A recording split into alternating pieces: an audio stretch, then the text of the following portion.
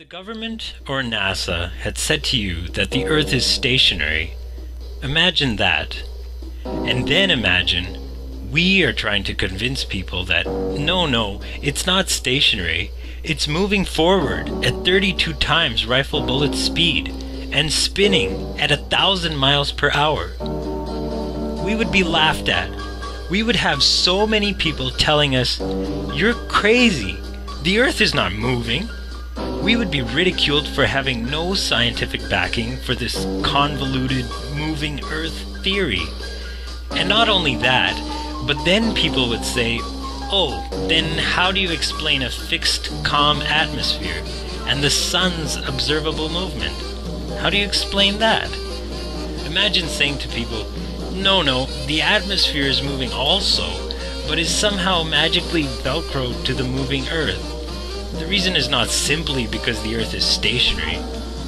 So, what we are actually doing is what makes sense. We are saying that the moving Earth theory is nonsense. The stationary Earth theory makes sense, and we are being ridiculed. You've got to picture it being the other way around to realize just how ridiculous this situation is. This theory from the government and NASA that the Earth is rotating and orbiting and leaning over and wobbling is absolute nonsense. And yet people are clinging to it tightly, like a teddy bear. They just can't bring themselves to face the possibility that the Earth is stationary, though all the evidence shows it. We feel no movement, the atmosphere hasn't been blown away, we see the sun move from east to west, everything can be explained by a motionless Earth without bringing in all these assumptions to cover up previous assumptions gone bad. If you find from your own experience that something is a fact and it contradicts what some authority has written down, then you must abandon the authority and base your reasoning on your own findings. So investigate the subject. I wouldn't put an electric blanket on for anything. First, I'd be worried I might get electrocuted. No, I don't trust technology. But I mean, the main thing, Wally, is that I think that that kind of comfort just separates you from reality in a very direct way. You mean? I mean, if you don't have that electric blanket and your apartment is cold and you need to put on another blanket or go into the closet and pile up coats on top of the blanket you have, well, then you know it's cold. And that sets up a link of things. You have compassion for the person. Well, is the person next to you cold? Are there other people in the world who are cold? What a cold night. I like the cold. My God, I never realized. I don't want a blanket. It's fun being cold. I can snuggle up against you even more because it's cold. All sorts of things occur to you. Turn on that electric blanket and it's like taking a tranquilizer. It's like being lobotomized by watching television. I think you enter the dream world again. I mean, what does it do to us, Wally, living in an environment where something as massive as the seasons, or winter or cold, don't in any way affect us? I mean, we're animals after all. I mean, what does that mean? I think that means that instead of living under the sun and the moon and the sky and the stars, we're living in a fantasy world of our own making. I mean, really, tell me, why do we require a trip to Mount Everest in order to be able to perceive one moment of reality? I mean, I mean, is Mount Everest more real than New York? I mean, isn't New York real?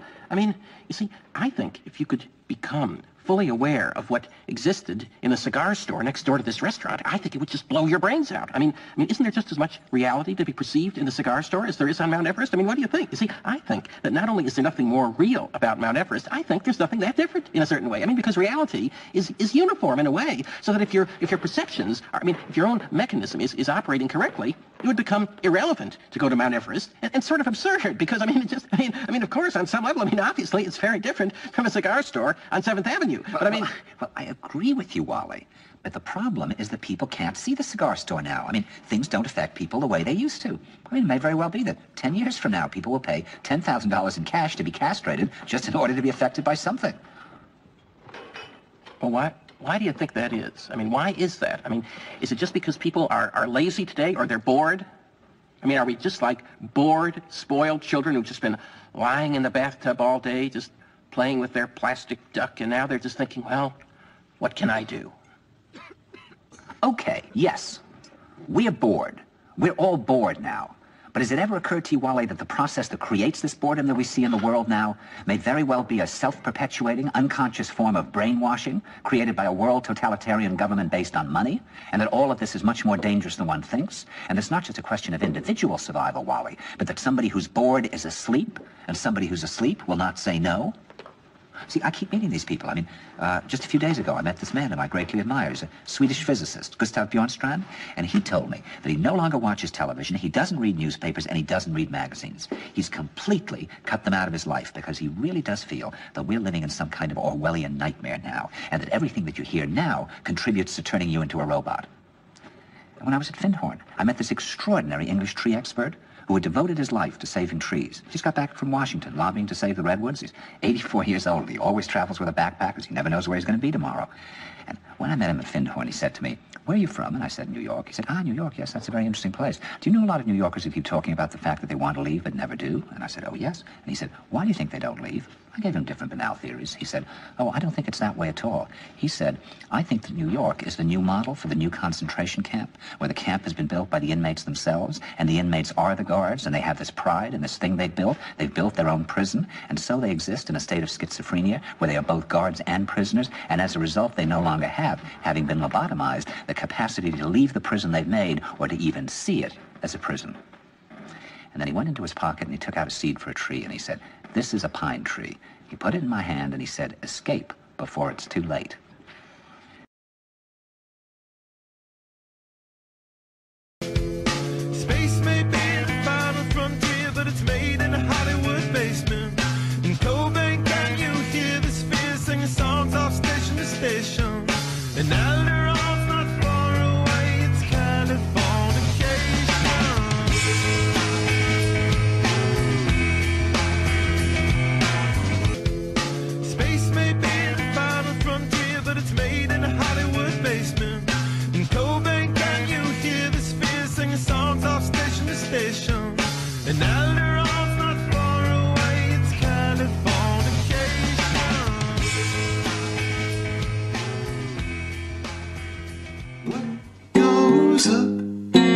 Up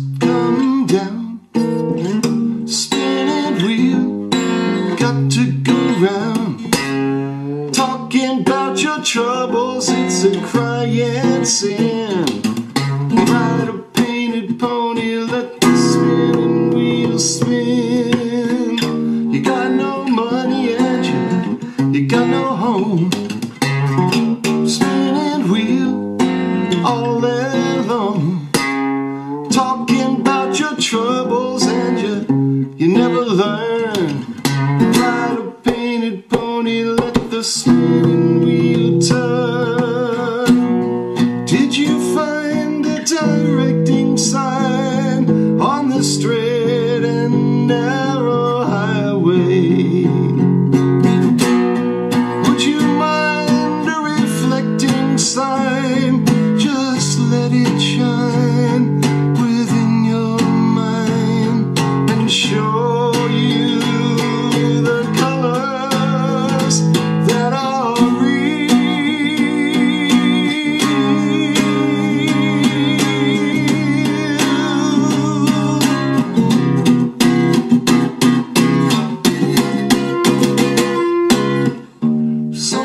Waiting just for you.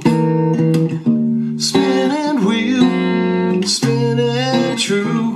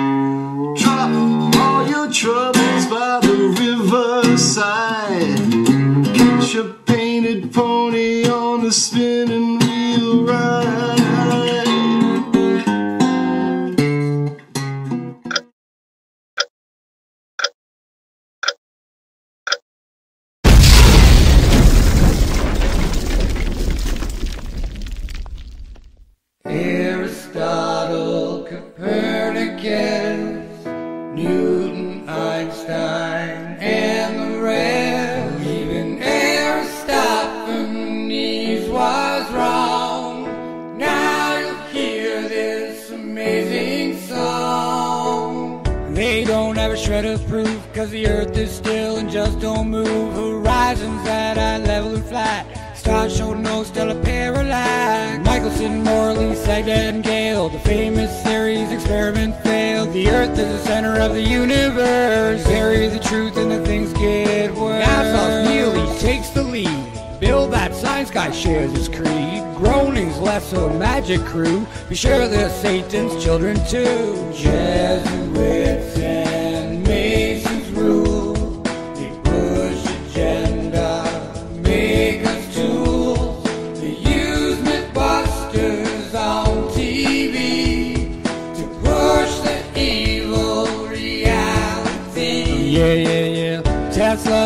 was new, then World War One and World War Two. And what did Heidelberg go do? took first and then on to Antarctic the Nazi troops with the ships and planes and Cascadoos. And what did they find? We don't know. Some say German, some say snow. Some say that they reached the wall of a glass dome that's way too tall. But even though many of us are needy, they blocked us all with the Antarctic Treaty. Back to Nazi scientists, UFOs in Area 51, where all the secret tests are done. Yeah, yeah, yeah. They Project Fishbowl. They try to make a great big hole in the firmament that's way up high. Planes and bombs, they try and try. False flags, pretend terrorists or actors exist. And fake Cold Wars and nuclear woes. TV tells us how it goes. Duck and cover, take your little pill. NASA's proven exactly nil. No Russia, US space race. Debunkers make too good of a case. How come I can see way past the curve? Eh? I mean, way past. Yeah. Incoming asteroids, could it be Earth? We'd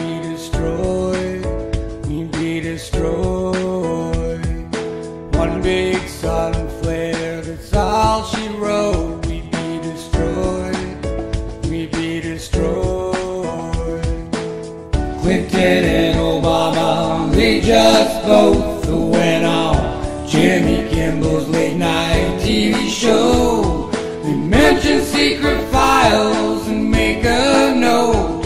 The flat earth changed, aliens disclosed. Yeah, yeah, yeah. Now aliens will have to wait. Sphere versus flat debate. The more of us who know the earth isn't round We'll make this house of cards fall down. Careful what you wish for, friend. The flat earth, the real is not the end. This system, it just has to crash. New world order from the end. The next step of the evil plan is to make you take the mark in your head or your hand. I know that it's a real low blow. They got the money in your mind, and now they want your soul. Big Bang, random life everywhere, evolution. Where's God? Where's God? Aristotle, Copernicus, Newton, Einstein, and the rest. Even Aristophanes was wrong. Now you've heard this amazing song. Folks, love each other, would you? And remember that God loves you very much. And we'll talk soon.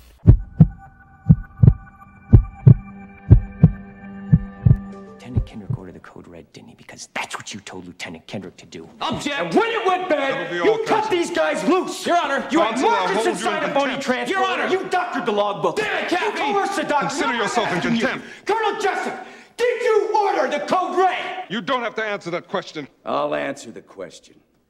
You want answers? I think I'm entitled to. You want answers? I want the truth! You can't handle the truth. Son, we live in a world that has walls, and those walls have to be guarded by men with guns. Who's gonna do it? You